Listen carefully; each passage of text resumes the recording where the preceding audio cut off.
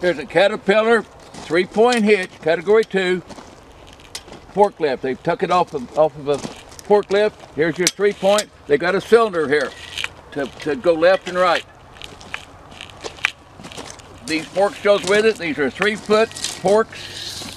I never had them hooked up. They're four inches wide. They're solid steel. You got a hole here you can move stuff with. Uh, all that goes, and uh, it looks good. It really does.